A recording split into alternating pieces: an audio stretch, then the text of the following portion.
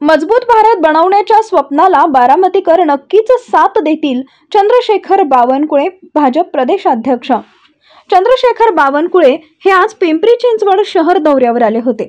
यावेळी चिंचवड विधानसभा क्षेत्राचे आमदार लक्ष्मण जगताप यांची भेट घेऊन त्यांच्या तब्येतीची चौकशी केली. सर्व निवडणुका आमच्यासाठी प्राधान्यक्रमाच्या आहेत असे मत भारतीय जनता पक्षाचे प्रदेशाध्यक्ष चंद्रशेखर बावनकुळे यांनी व्यक्त केले. यावेळी चंद्रशेखर बावनकुळे यांनी पुन्हा एकदा शिवसेनेचे पक्षप्रमुख उद्धव ठाकरे यांच्यावर टीका केली.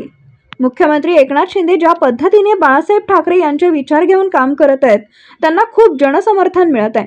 पंचावन्न वर्षात सरकार चालवून जर तुम्ही गरीब माणसांकरिता गरीब कल्याणाची योजना राबवत नाही तर तुम्ही कोणत्या अर्थाने भारत जोडो राजकारण करणार?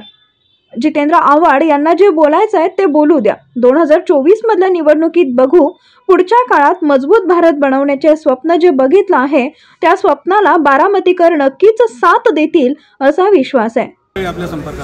नाही मी कुठल्याही सयाजीला बैठक घेतली नाही माझी कुणाशीही बैठक झाली नाही.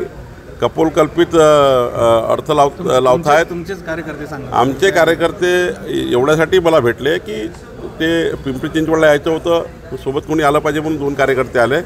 राहिला प्रश्न प्रभागाचा तर ज्या पद्धतीने महाविकास आघाडी सरकारने विना सेन्सस म्हणजे दोन हजार अकराचं सेन्सस अवेलेबल असताना आपल्याच मर्जीने साडेचार टक्के जनसंख्या वाढवून काही सीट्स वाढवल्या. सीट्स वाढवण्याचा अधिकार नव्हता नियमात नव्हता.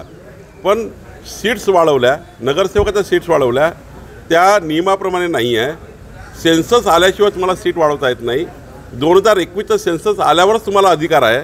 मग तुम्ही राजकारण bureau report S Marathi Pune.